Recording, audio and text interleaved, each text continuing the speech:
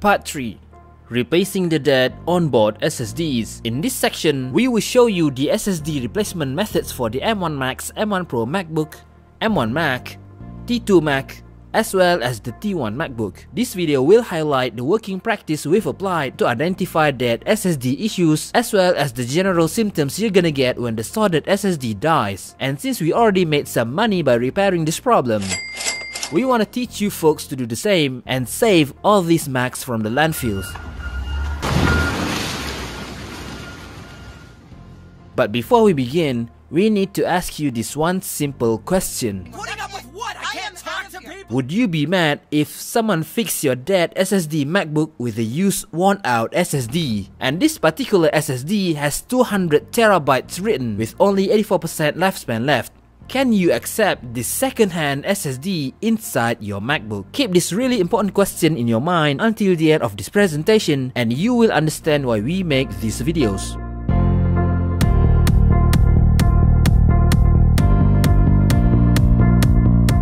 In order to understand what you need and the basic principle of soldered SSD replacement, we need to start with the T1 MacBook first. There are four Intel MacBook models with T1 chip and we have listed them here to make it easier for you. These are the very first generation of Touch Bar MacBook Pros that were produced in 2016-2017, so if you open up the bottom case of the MacBook, you will be able to locate the soldered SSD location on the right side of the MacBook. If you are familiar with the logic board by now, you should already know that this is the logic board for the 15-inch MacBook Pro and the right ones for the 13-inch Touch Bar MacBook Pro. The soldered SSD is actually well protected under this EMI shield, so prying the metal shields will expose all SSD components one by one. So as you can see, the SSD on this Mac consists of two different components. The first one is called NAND chips, where all of your data are actually stored and the second one is the SSD controller. The NANDs are connected to the single SSD controller and this SSD controller is hardwired directly to the platform controller hub or PCH through the high-speed PCIe port at 4 lanes PCIe 3.0. So let's just move them to the side now. And if you flip the logic board to the other side, you can see several ICs and another EMI shield on the left chicken wing.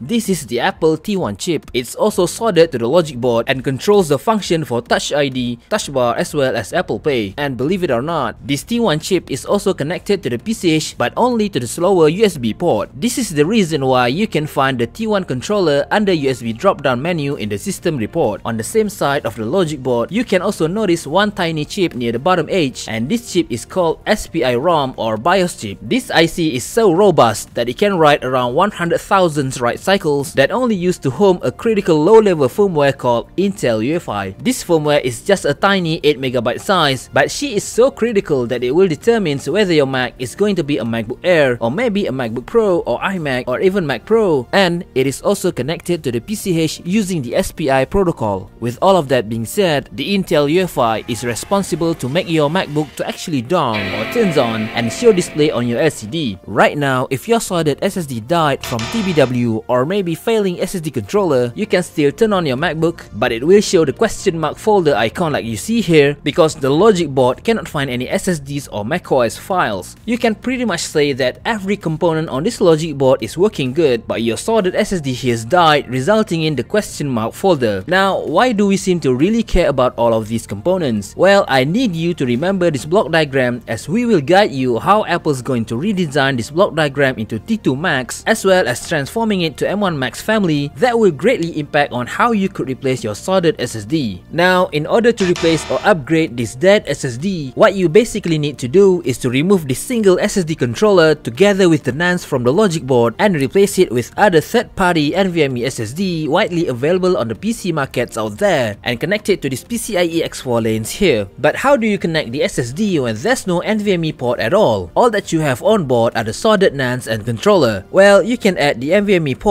by removing all existing hardwares like the NANDs, SSD controller, capacitors and resistors from the logic board to make space. Next, clean up all the solder traces with wick and all the messy epoxy until everything is flat and smooth. Some of these exposed copper pads are actually PCIe X4 lanes, so we will manipulate these exposed PCIe lanes by aligning a specially designed BGA adapter directly on top of these PCIe pads. This BGA adapter basically reroutes all these exposed PCIe lane pads to this M.2 NVMe SSD connector so that you can put any compatible M.2 NVMe SSDs available on the Amazon or eBay. And now the MacBook storage is removable, expandable and good as new. And the bottom case will fit the modifications perfectly well. After that, all you gotta do is to format the macOS into the new SSD and this MacBook will have the chance to live another life. This NVMe adapter has helped people around the world to repair logic board even with holes through the SSD solving numerous A1706 and A1707 MacBook with dead SSD issues, as well as upgrading the MacBook storage to 1TB capacity, and so far the largest capacity available for this upgrade is 2TB. É, já está aqui a instalação, é, fiz todo o procedimento mostrando, compartilhando no YouTube, então está aqui um M2 soldado no Mac. These custom NVMe adapters and their stencils are available on the links in the description below.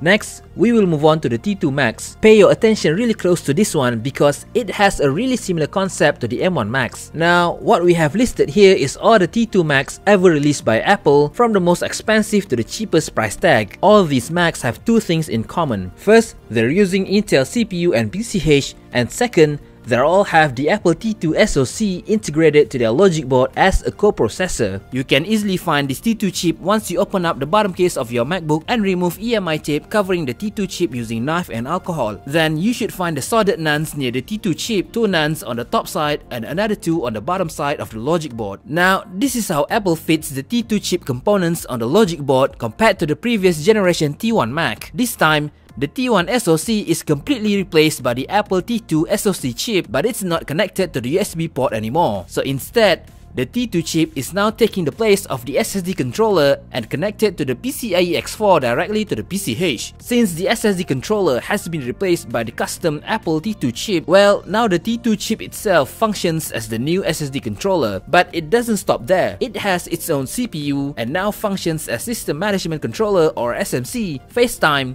Touch ID and Touch Bar controller, audio and sound processor, Intel ESPI host, as well as several other critical things that's too long to be listed here. And since the T2 chip was customly made by Apple, they actually replaced the old NANDs with their specially designed NANDs too. These NANDs are so special that you won't be able to find them in any other laptops and OEMs out there. But if you repaired an iPhone logic board before, you might be familiar with these types of PCIe NANDs. So now all the NANDs on the right here are proprietary, special special NANDs manufactured by these four brands we had explained in the past video. It's either Samsung, Hynix, Kioxia or Western Digital. With all of that being said, each individual NAND is connected to the T2 chip using a single PCIe lane. And even though you see 4 NAND chips here, every single one was also programmed with proprietary NAND firmware, so each of these firmwares work together and makes the 4 NANDs paired to each other and they are even numbered from 0, 1, 2 and 3. Some discussion said that these NANDs are configured to RAID 0 configuration, but we can't really prove that yet. And without this critical NAND firmware, your NANDs won't be able to communicate with the T2 chip. So these NANDs are combined together to be treated as a single storage and this combination determines whether you're having a total of WD 500GB or maybe Kioxia 500GB or Hynix 250GB or maybe other larger capacity. And notice that each NAND configuration has a different firmware color because this firmware is unique and very specific for every NAND combination. Yeah, in real life they don't have colors, but we put them to help you understand that each of them is different and unique. Next, to make it more troublesome, Apple removed this single, robust BIOS chip from the logic board. The only home to this Intel UEFI firmware is now gone. And now she is so sad because she just lost her home. But Apple compassionately come to her and offer a much bigger home than her previous 8MB house. And of course, Apple is offering to live inside the proprietary NANDs. She is so happy having this offer to which she replied, You're so cute.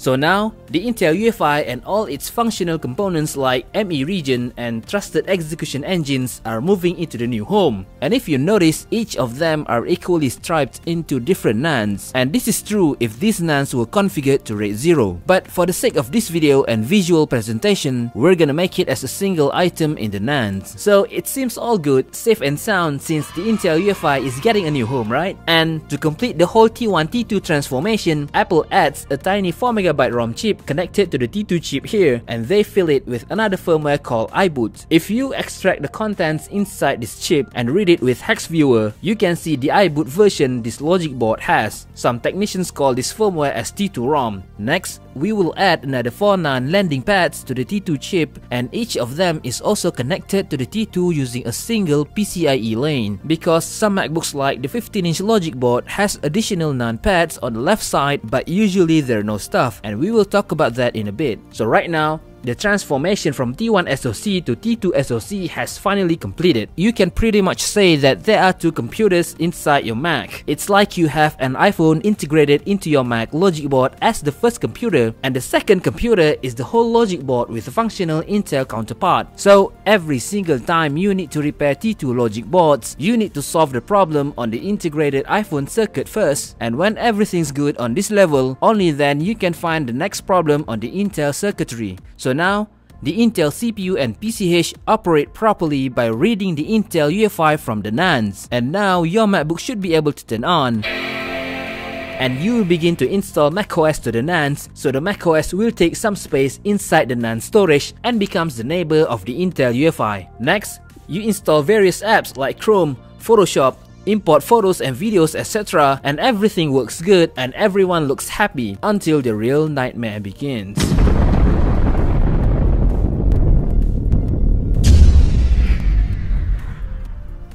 When a single NAND dies, just a single NAND dies on your logic board, then the whole content in the NANDs will be corrupted, including the most critical Intel UEFI, as well as your personal files, apps, and everything. As a result, the links between these NANDs have been destroyed and the fellowship of the NAND is now broken, so during normal usage, your MacBook will experience sudden death because the critical Intel UEFI is now missing and corrupted. A single NAND is all that it takes to turn this MacBook into a dead book. This is exactly the reason why you can find a lot of people over the internet complaining about sudden death issues when they're using it and along the way they would experience beach ball freezing on the screen followed by sudden shutdown. And one user even complained that his MacBook became dead after returning home from 2 weeks vacation and the MacBook had a normal shutdown before leaving. In other words, for MacBook 2018 and above or any T2 Mac, if your SSD dies, you will never get to see a question mark folder icon because when it's already dead, you will never be able to turn on the MacBook again. Well, from what we explained in our previous video, a single NAND can die from worn out TBW. Having a 250GB storage like this one actually made up from 464GB NANDs combination. If you assume a 250GB SSD has 150 TBW of usable lifespan, then each NAND only has a 37.5 TBW worry-free lifespan to begin with. And we don't even talk about how wear leveling works for these NANDs yet. And remember, it only takes a single NAND, not four, but just a single NAND to kill this MacBook.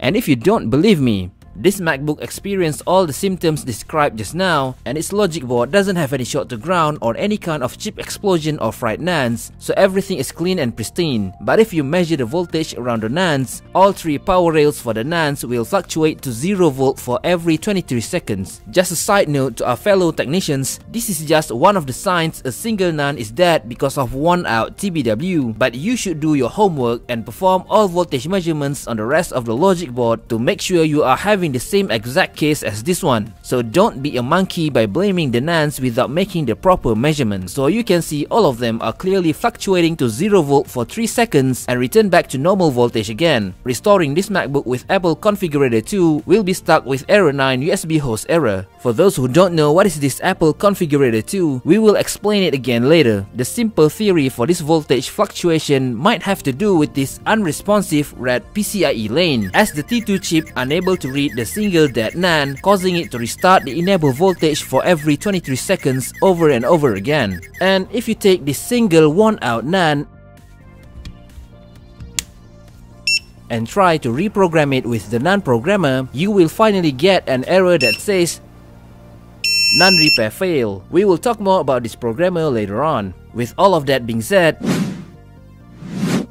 you're not gonna be able to replace this single dead NAND with any NAND you pull off from another donor Mac, even if the NAND is the same exact model and brand or capacity, because the firmware inside this donor NAND is not of the same color with the ones you're trying to fix.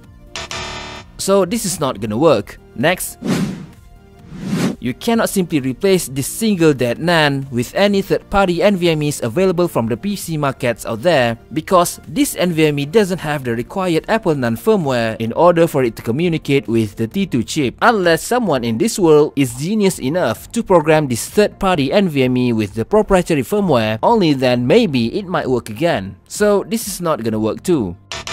Next, you also cannot simply remove the T2 chip and use this PCIe X4 to connect with the third-party NVMe because the T2 chip itself is now playing a major role in the system functions and has become the home to various controllers and IOs, then the same trick we did to the T1 MacBook is not applicable anymore. Aww. So where can you find the NAND replacement source for all these dead Macs? Well, there are only two available sources right now, and the first one is by utilizing a set of used NANDs pulled out from a donor Mac and the second one is by installing a brand new NAND to your logic board. So use and pull out NANDs will give you two options of repair. The first one is the direct transplant method and the second one is the NAND programmer method. For the first method, basically you need to remove all these NANDs from the logic board even if you know some of them are not dead yet and then you need to find a set of working NANDs to pull out from a donor board. Let's say you're taking the NANDs from a donor MacBook Air 2020 with a dead CPU and directly transplant them to this target Mac we want to repair. After soldering these pull out NANDs to the logic board, the SSD's voltage should be stable and not fluctuate anymore, but you should know and realize that these directly transplanted NANDs are not empty, and the NAND's firmware section carries all the SSD stats information like the SSD's lifetime left, TBW stats, and all other related SSD infos. So right now, your MacBook will never turn on because the Intel UEFI inside the NAND is missing. In order to restore the correct Intel UEFI, you just need to connect this logic board to another MacBook with Apple Configurator 2 installed and this specific software from Apple will help you to wipe all previous content inside the NANDs and download the new Intel UEFI from Apple's server using Wi-Fi and transfer it through the cable and finally into the NANDs again. When the new Intel UEFI successfully restored to the NANDs, your MacBook should be able to turn on again and you can begin to install macOS, apps, personal files and everything.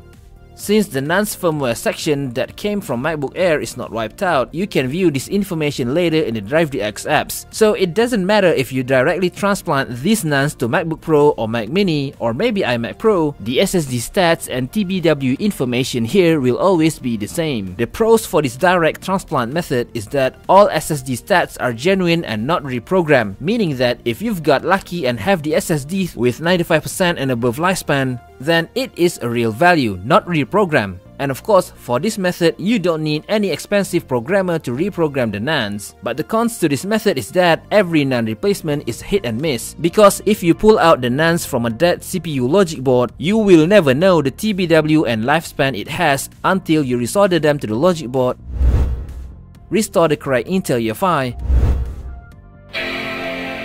install macOS to the target Mac, and only then you're finally able to check the SSD stats with the DriveDX apps. It's a long, tedious, and winding road to only know you've got a not so good SSD.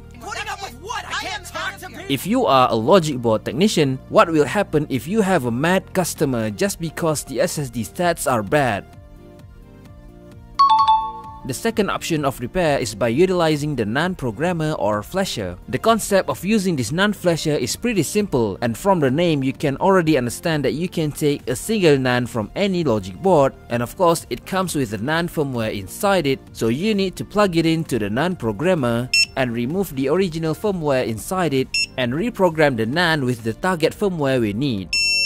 And this blue firmware was actually copied from another NAND in China. So basically you are creating a duplicate NAND for yourself based on this NAND in China. This also means that you can take any pull-out NANDs from any donor logic boards you have and gather all of them together to make a working NAND combination. But right now we have a problem. The firmwares inside the NANDs are not binded together and not having the same color because obviously they were pulled out from various boards. Now the zeroth NAND at the top already flashed to blue, so what we're gonna do is to reprogram each one of them to the target firmware we need. So you need to flash the first NAND to blue, followed by the second NAND, and finally the third NAND. After all of them are reprogrammed to the same color according to the numbering sequence, they're now ready to be transplanted to your target logic board and the T2 chip will easily read them as a single SSD storage. And you will be able to revive your Mac using the same Apple configurator too.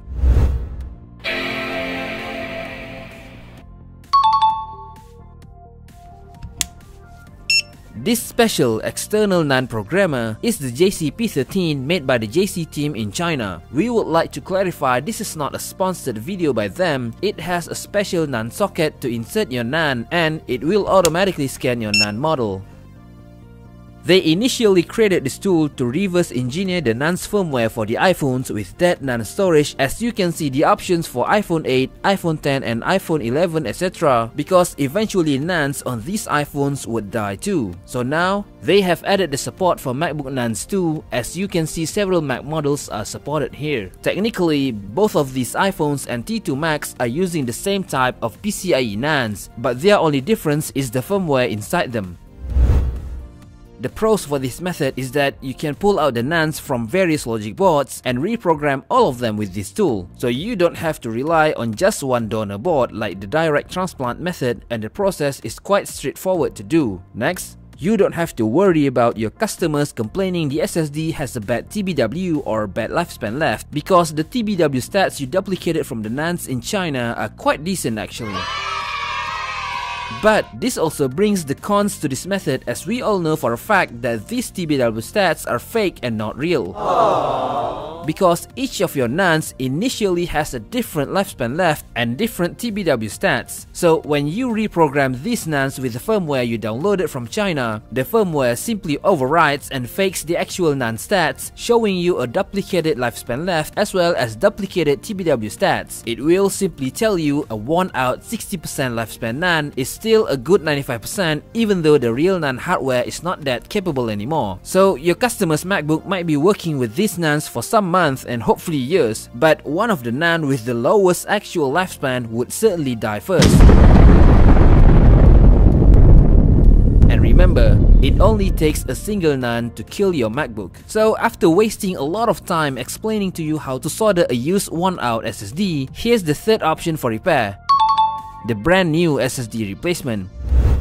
But guess what? You will not be able to buy this new SSD anywhere from the PC markets, not from AliExpress, not even from China, unless you are bold enough to pull your trigger on the Mac Pro 2019 SSD kit. So yeah, in order to buy this kit, you have to be rich enough to spend $2800 for an 8TB SSD kit from apple.com. So this kit is intended for the 2019 Mac Pro 7.1, but what will happen if we try to directly transplant this kit to the MacBook Pro? To prove this crazy crazy and expensive theory, we've gathered all of the money we've had from the MacBook repair and finally bought the cheapest 1TB SSD kit from the Apple website for $600. Just a quick comparison that you can get a Samsung 1TB NVMe SSD for just 100 bucks and less.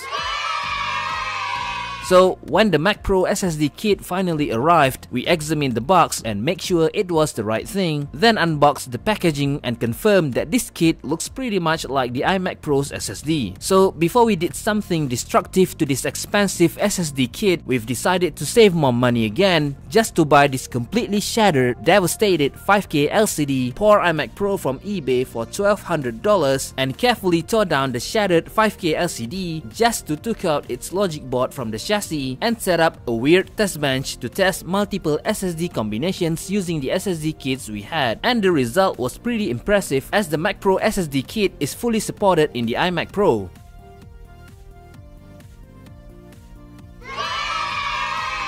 This successful little experiment further adds our confidence to finally transplant this 1TB Mac Pro SSD kit to our client's MacBook Pro 15-inch 2018 that suffered dead NANDs from blown TPS 62180. So basically, we removed all of the 8 NANDs from the SSD kit and soldered them to this MacBook Pro one by one. We will upload the full guide video for this, so make sure to subscribe to see how we did it. Before you even ask, the NAND from this SSD kit is slightly wider than usual, so you cannot reprogram this new NAND with the JC programmer. After restoring the MacBook with the Apple Configurator 2, we were able to install the macOS and finally install the DriveDX apps to look at the TBW stats of the SSD kit. So you can see here, it has a 100% lifespan left with only 26GB TBW that was used only for installing the macOS and Intel UEFI. So it's a pretty legitimate value for a new SSD kit from Apple. If you still don't believe it is possible, here's a quick view of how it looks like with 8 NAND soldered on. With all of that being said, today we want to give you a special offer to upgrade your 15-inch or 16-inch MacBook Pro to 8TB storage and we won't charge any labor fees but you have to buy this 4TB or 8TB kit and send it all together with your MacBook Logic board to us. We guarantee 100% that it will work and succeed and we will upload the whole process to this YouTube channel. If you have the following MacBooks and your pockets are strong enough to try this, you can leave your message to our email or Facebook. But how do we know that the Mac Pro SSD kit can only be transplanted into these three MacBooks? Why can't you use the same SSD kit for MacBook Air or Mac Mini or any other Mac? Well, here's when you need the landing pads rule, the basic fundamentals of how the NANDs are arranged onto the Mac's logic board. It doesn't really matter which repair method you're going to choose between these three, all of them have to obey the landing pads rule. Now, the term landing here actually came from the MacBook schematics diagram. Apple uses this term to describe how many NANDs are there on a specific logic board, and we believe the term landing actually came from land grid array, or LGA as you might know for PC motherboards. But before we explain these rules, there are several terms you need to know and familiar with, and that is FLPs, NFLPs, as well as TLPs. But don't freak out just yet, this is not a rocket science or anything you've gotta do with the thermodynamics law in engineering school, so it's really really simple to understand actually. Let's have this logic board as an example. It is the main logic board for the A2141 MacBook Pro 16-inch 2019. At the top side, you can see three of them stuffed with NANDs and one pad is left unstuffed Turn it to the other side and you will see another 3 NAND stuff on the pads and another one pad is also left empty. Let's rearrange them so you can see better.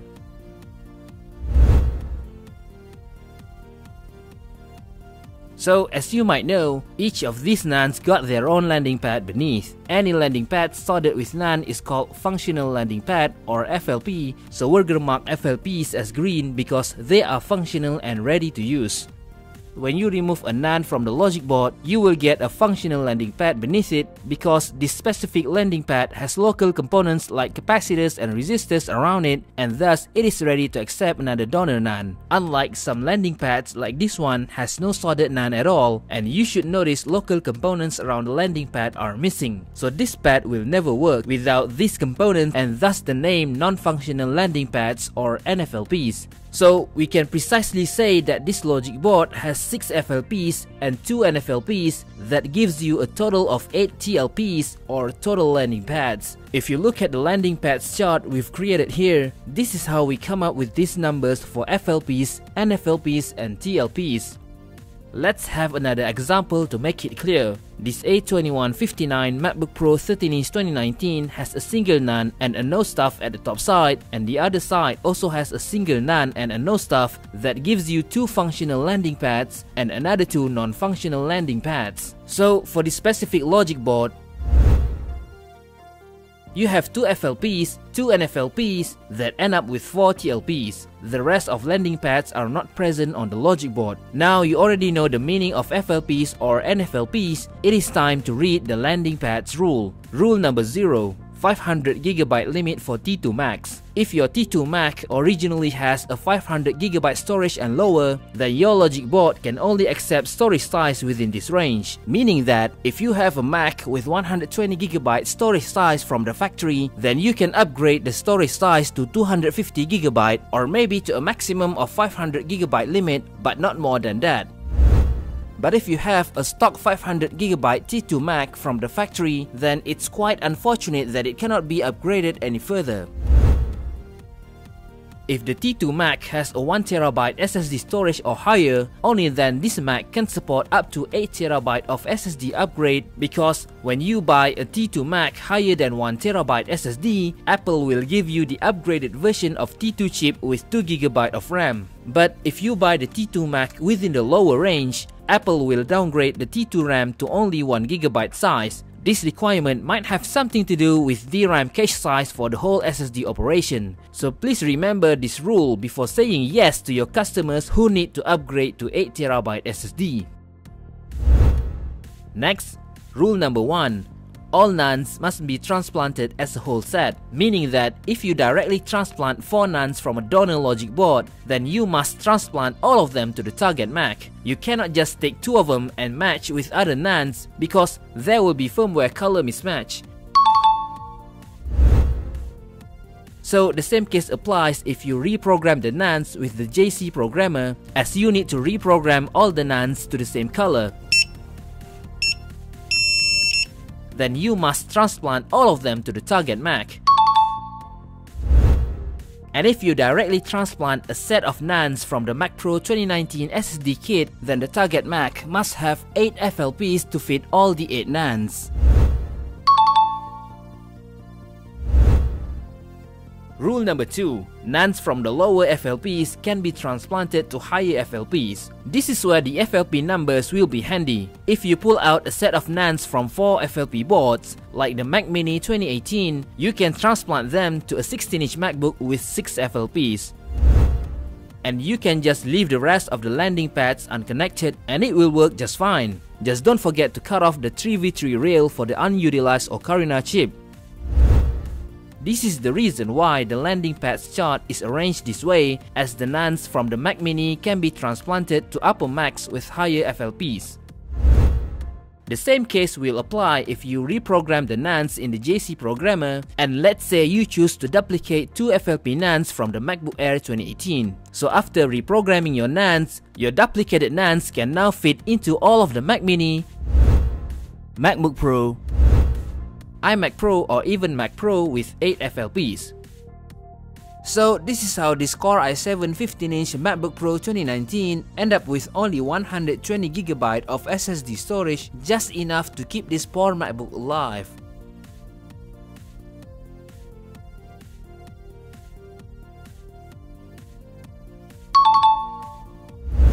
Next, rule number 3. NANDs from the higher FLPs cannot be transplanted to lower FLPs. This is quite obvious, right? You can't transplant 8 NANDs from the Mac Pro 2019 SSD kit to the MacBook Air 2018 because you simply don't have enough FLPs.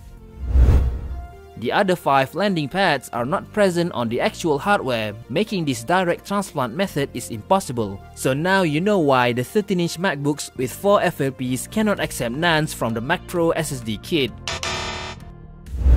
Next, rule number 4. NANDs from the same FLP numbers are swappable. You might already get this one. NANDs that came from the same FLP numbers are interchangeable between the same class. So NANDs from the Mac Mini are directly swappable with MacBook Pro 13-inch and vice versa. Rule number 5. NANDs must stuff the 00 port followed by the 01 port. The first 4 FLPs at the top here belong to the 00 port and the remaining 4 FLPs represent the 01 port. So when you stuff the donor NANDs, you must fill in the 00 port first followed by the 01 port if you never know these ports numbering exists, In the A1990 MacBook Pro, the 00 port is all the 4 NANDs on the right wing and the 01 port is all the remaining 4 NANDs on the left chicken wing. You can check it out by opening the board view for this main logic board, go to any NANDs on the right wing and look for pin 87 that reads SSD 0 clock request 1 so the number 0 tells you this NAND is connected to the 00 port. And if you look at the other wing on the left, another NAND with the same pin number 87 reads SSD 1 clock request 2 so the number 1 here tells you that this NAND is connected to the 01 port. So when you stuff the NANDs on this logic board, make sure to stuff them on the right wing first. But why is this really important? Because on the A2141 MacBook 16-inch, the port location is now inverted. The 00 port is now located on the left chicken wing, while the 01 port is located on the right wing. So for this particular model, you need to stuff the donor NANDs on the left wing first. If you don't believe me, go check your board view now. While on the iMac Pro 2017, both of the 00 and 01 ports are literally represented by these two physical ports. This port on the right here is the 00 port and the left one is the 01 port. If you look at the Mac Pro SSD kit we've bought, you can find a specific numbering on both of their PCBs that ends with 00 and 01 numbers. So this 00 SSD must be plugged into the right port and of course the 01 SSD to the left port. If you purposely install them on the wrong port, you will end up with error 9 USB host error in the Apple Configurator 2. And if you purposely remove the 01 SSD from the 01 port, you will get another error that says error 35, error formatting the NANDs. The same concept also applies to the Mac Pro 2019 that has the same physical NAND ports inside the chassis. Rule number 6. NAND sequence must follow the zeroth, first, second and third order. Now, not only these two ports are numbered, but every single NAND is also numbered. On the 00 port, the numbering starts from 0 to 3 and the same numbering scheme repeats for the 01 port. So these NANDs are so picky and sensitive to these numberings. So to know the exact numbering for each NANDs, open up the board view for the same logic board and go to the same pin 87 that reads SSD 0 clock request 1 that tells you it's a NAND on the 00 port with the first order. Let's see another one. This pin 87 reads SSD 0 clock request 2 that tells you it's a NAND on the 00 port with the second order. So after numbering all donor NANDs, make sure to match them on the target board with the same ports and number, meaning that you have to mark them from 0 to 3 before pulling it off from the donor Mac and directly transplant them exactly with the same numbering order on a target Mac, like 0 to 0, 1 to 1, 2 to 2 until you finish it till the end. This sensitive behavior might have to do with RAID 0 striping arrangement. Don't make mistake with these numberings or else you're going to end up with error 9 USB host error. Rule number 7. NFLPs are not functional unless missing parts restored. Let's take the NANDs from this Mac Pro SSD kit, so there are a total of 8 NANDs. And you want to transplant them to the 16-inch MacBook Pro. But there is a single problem. You might have noticed you only have 6 FLPs on the 16-inch MacBook Logic board and the other two pads are NFLPs. So these NFLPs are not usable unless you restore all the required capacitors and resistors around the NANDs because all these components are required for the NAND strapping and operation so they must be present if you want to convert these NFLPs to FLPs. Rule number 8. NAND's brand cannot be mixed. It is quite obvious, right? You cannot mix Kioxia NANDs with any other brand like SanDisk NANDs and the other way around.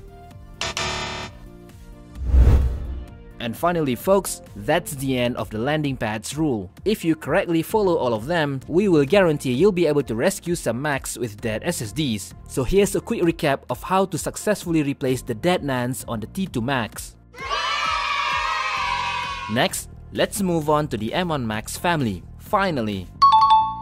So maybe this one is what you're waiting for. These are all the M series Macs that have been introduced by Apple so far and of course they are arranged in this chart in a way that obeys the landing pads rule. So the actual hardware for the M1 SoC is easily found when you remove the heatsink from the logic board and you should find the NANDs for this Mac nearby the M1 SoC. Then, this is how Apple fits the M1 components on the logic board compared to the previous generation T2 Mac. This time, the M1 SoC has taken the place of the T2 chip and Apple completely phased out all Intel CPUs and PCH leaving only the M1 as the main processor. Next, the old NANDs with the Intel UEFI inside are not needed anymore. After removing the old NANDs, just like the T2, each NAND is hardwired to the M1 SoC by the PCIe X1 link, so Apple upgraded them with slightly power-efficient NANDs operating at lower voltage compared to the previous generation. For this reason, even though they physically look the same in dimension and design, technically we believe they're not the same and not compatible to each other. On the actual logic board hardware, you can only see a maximum of 2 landing pads for the regular M1 SoC, so the rest of 6 landing pads on this block diagram should be deleted and not present at all. And even though you see 2 NAND chips here, every single one was also pre-programmed with proprietary NAND firmware, so each of these firmwares work together to be treated as a single storage again, and they are also numbered with 0 and 1. And as usual,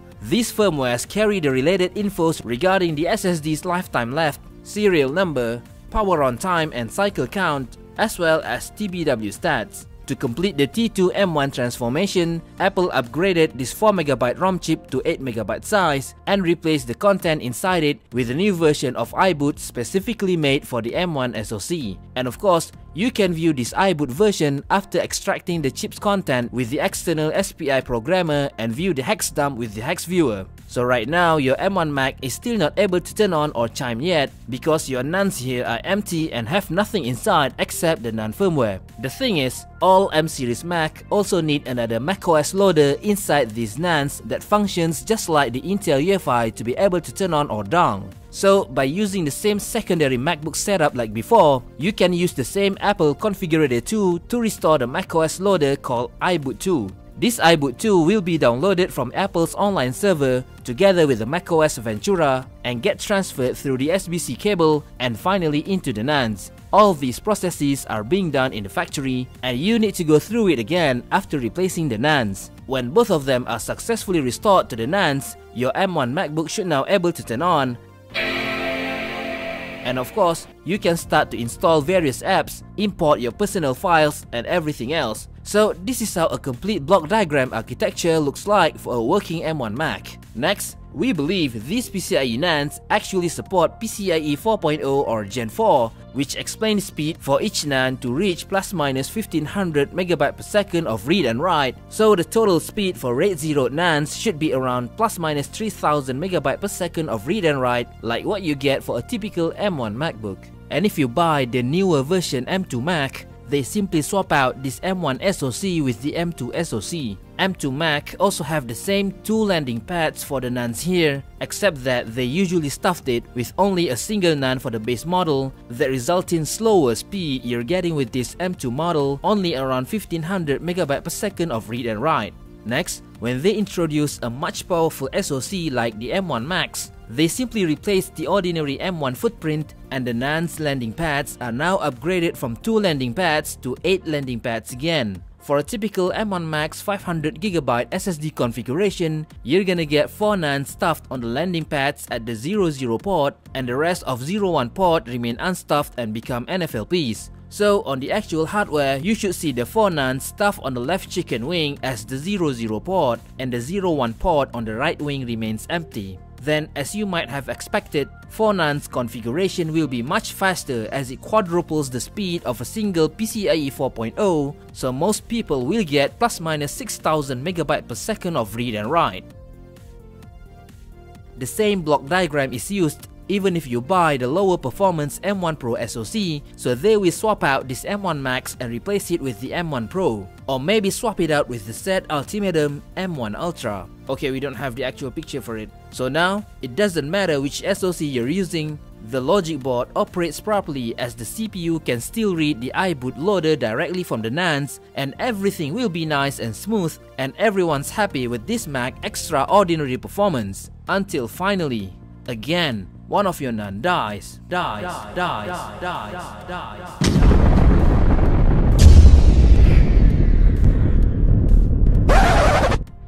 Okay, okay, I know some of you believe SSDs can last for a good 10 years, and everything we explain is brilliantly said. That's fine, you can say what you want.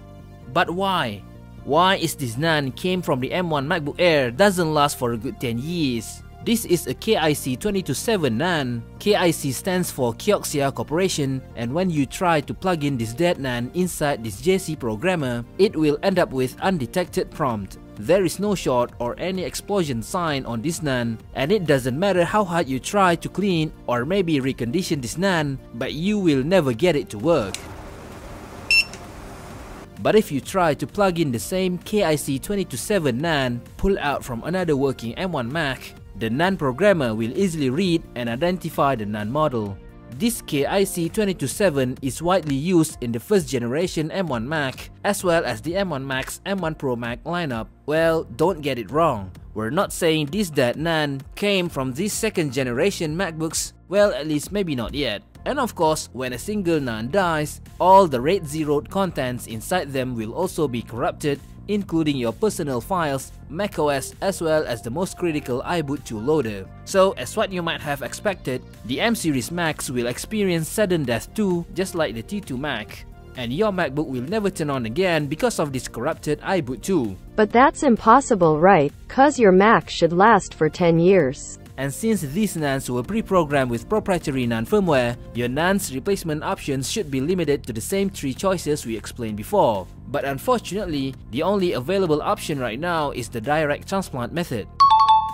The other two are not even an option right now because the NAND programmer JCP13 currently doesn't have the options for the M1 Mac at all, as you can see only the T2 Macs listed here. If you try to plug in the M1 NANDs inside this programmer, it can correctly identify the NAND model KIC227, but there is no specific option to reprogram the M1 NANDs. And if you try to duplicate the NANDs manually using this read and write function, your Mac will end up with various errors in Apple Configurator 2. Most probably the JC team is still working hard on this, but we can't really guarantee if one day they'll figure it out, and I hope they finally will. Next, for the new NAND option, we cannot buy it directly from Apple yet because at the time we upload this video, the most awaited Mac Pro with Apple Silicon is not even announced yet. So you can't buy the Mac Pro SSD kit yet and thus this is not even an option. With all of that being said, direct transplant method simply means you need to transplant a full set of donor NANDs from a good working M1 Mac to the dead SSD Mac. But if you notice, the landing pads chart for the M series Mac has several color regions. The blue region at the top includes all the tested NAND compatibility for M1 Max M1 Pro model, and please note that the NANDs can only be transplanted within the same blue region. This is confirmed by swapping the NANDs back and forth on several 14-inch and 16-inch MacBooks we have. Next, the gray region is what we call the gray area that includes all models that are not tested and swapped yet, including the M1 iPad and the M2 Mac. So one day after we finally tested them one by one, it's either going to the blue region or maybe to the green region. You can also test it if you want and tell us the result for us to update this chart. Then, the green region is all the first generation M1 Mac, and of course, NANDs can only be transplanted within the same green region. This is confirmed when we tried to transplant the NANDs in the green region to the blue region, such as transplanting NANDs from the M1 Mac Mini to the 14-inch M1 Pro MacBook. But we finally got an error that says Error 21 Library USB Restore. So the only way to cross the color region is by using the NAND programmer, like combining two sets of NANDs from the green region and reprogramming them to make a complete set of NANDs for the blue region. But this idea is still impossible because the JC programmer is not ready for this kind of task. So that's it. The same landing pads rule applies to do this successfully, but one rule has changed and removed. Rule number 0 that states the 500GB restriction is not applicable anymore because for the M1, you can have a 2TB SSD with only 8GB RAM configuration. Every other rule is pretty much the same just like how we explained for the T2 Macs. We're not gonna go through each of them for now, but we want to highlight the rule number 5 regarding the 00 port and 01 port. Rule number 5, NANDs must stuff the 00 port followed by the 01 port. Let's take this M1 Max 16-inch logic board as an example. You can see there are 4 NANDs on the left chicken wing and this is a 1TB SSD configuration. And then, as you can see nothing on the right wing but only the non-landing pads, by following rule number 5, we can safely assume the left wing is the 00 port and the right wing is the 01 port. To confirm this, open the FlexBV board viewer by Paul Daniel. And yeah, he's not sponsoring this video, so you can see this is exactly the 16-inch M1 Max logic board. And as you go to any NANDs on the left wing, pin 87 shows you the NAND address that reads NAND0 clock request 2 RL. That tells you it's a NAND on 00 port with the second order. If you check all 4 NANDs on this wing, all of them start with NAND0 that addresses the 00 port. On the other hand, any NANDs on the right wing, pin 87 starts with NAND1 clock request RL. The number 1 here addresses the 01 port.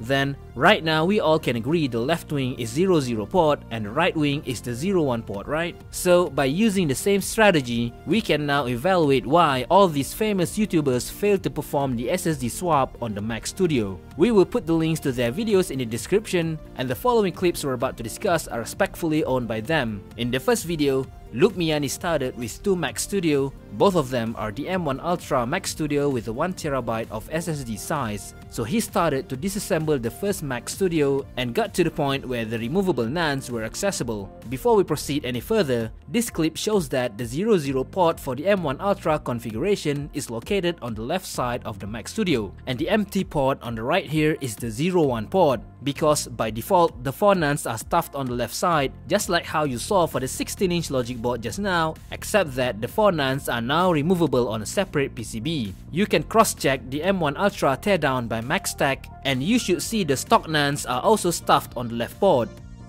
Back to Luke Miani's channel, so basically he took the NANDs from the 00 port of the first Mac Studio and plugged it into the 01 port of the second Mac Studio. So if we illustrate what he did on the block diagram, this is what you will see. He basically moved 4 NANDs from the 00 port of the first Mac Studio to the 01 port of the second Mac Studio to make a combination of 2TB SSD. But please note that the firmware color here is not the same, and the donor NANDs were pre-programmed to only work with the 00 port, not 01. So this is not gonna work. Next, in the second attempt, he took the original NANDs from the 00 port of the same Mac Studio and moved it to the 01 port. So to illustrate that on a block diagram, it will look like just a simple port swap. But since these NANDs were pre-programmed to only work with the 00 port, not 01, then this is not gonna work too, even if you try to restore it with the Apple Configurator 2. Next, in the third attempt, he basically swapped the two NANDs between the Mac Studios to the 00 port. So if we illustrate what he did on the block diagram, this is what you will see. So this one is supposed to work, but since he didn't perform the DFU restore using the Apple Configurator 2, then he missed the chance to get it recorded on camera, but that's completely fine. In the second follow-up video Mr. Miani posted, he came up with another Mac Studio. But this time, the NAND swap was going to be between the M1 Ultra and the M1 Max model. In the video, he found that the position of the NANDs for the M1 Max model is now inverted and located on the right side of the Mac Studio as opposed to the M1 Ultra. If you look at other teardown videos by Linus Tech Tips or iFixit, the default NAND position for the M1 Max model is also located on the right side of the Mac Studio. then we can safely assume that the 00 port for the M1 Max configuration is located on the right side. Well, the fact that it differs from the M1 Ultra is simply because different PCB routing is required for a different SoC. So, Mr. Miani repeated the experiment by combining NANDs from the M1 Ultra into the M1 Max to make a total of 1.5 TB SSD size, meaning that he plugged in that 1TB NANDs from the 00 port into the 01 port. And of course, it ended with Error 21 library USB restore. Frustrated with the result, he finally swapped the original NANDs into the respective Mac Studios and performed the FE restore, and of course it succeeded to restore without any problem. The same thing happened to Linus Tech Tips when he tried to swap the NANDs on both of their Mac Studios, and thank goodness he began with a simple NAND swap on the same 00 port. So of course, on the first attempt, he looked so happy knowing that you can actually swap the NANDs on these Mac Studios. But he quickly turned to frustration as combining both NANDs to the same Mac Studio didn't work. Because he simply populated the 01 port with the 00 port NANDs and ended with error 6 failed to handle message. That was also the case for iFixit's attempt to swap the NANDs on both of their Mac Studios and I think we don't need to explain it again. With all of that being said, if they ever want to revisit the experiment now and still want to try to upgrade the NANDs, the only way to successfully perform the upgrade is by buying the base model of Mac Studio from the Apple website. M1 Max CPU is fine, but make sure to don't forget to customize the SSD storage to at least 4TB SSD size or higher to force Apple to stuff both of the 00 and 01 ports, meaning that Apple will give you 2TB of NANDs per port. After you receive the 4TB Mac Studio, you can begin to tear it down and before you remove both of the NANDs, label them with the respective port's number, and then you can finally swap them out to any M1 Ultra Mac Studio with the correct port's position and restore it with the Apple Configurator 2. To illustrate this on a block diagram, this is what you will see. Well, obviously we're not gonna do this experiment now because of time and money constraints as we have spent a lot of money by purchasing the 14-inch and 16-inch just to perform the soldered NAND swap. So that's it folks, here's just a quick recap of how to successfully replace the onboard SSDs for the M-Series Mac.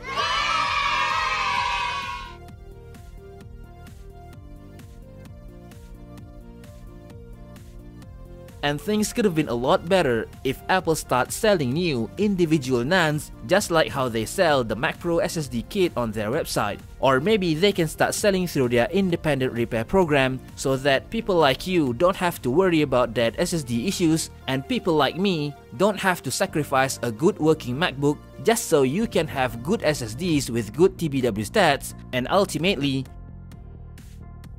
we don't have to scavenge worn out donor NANDs from dead logic boards from eBay because you know, these logic boards came from those people that said, ah, Oh, SSD swap use is fine. SSDs can last for 10 years, you know. And when Apple starts selling new NANDs, they can actually make more money by designing the MacBooks with built-in NAND sockets. So whenever your SSD dies, you can easily remove the old ones and buy the new one from Apple and install them to the logic board yourself. Don't deny this Apple. You had these NAND sockets during the prototype stage and you decided to remove them for the mass production. Why didn't you just leave it there? We kind of guarantee you will sell more MacBooks when you make the storage removable. Well, if both of these suggestions are rejected, then someone like the NAND manufacturer, like the Chinese NAND manufacturer, why can't you just create new, customly designed NAND exactly like this with whatever 3D NAND or VNAND, SLC, QLC, MLC or anything you can come up with as long as it is new and not worn out yet and program it with the Apple NAND firmware used in the JC programmer. Then boom! You don't have to worry about source anymore. Well, that's all what we have. But it doesn't mean we are 100% agree with all of these pro-capitalist suggestions. But at least it is much better than having none. The last solution is what most people will say. Stop buying them. Well, does it really will stop anything?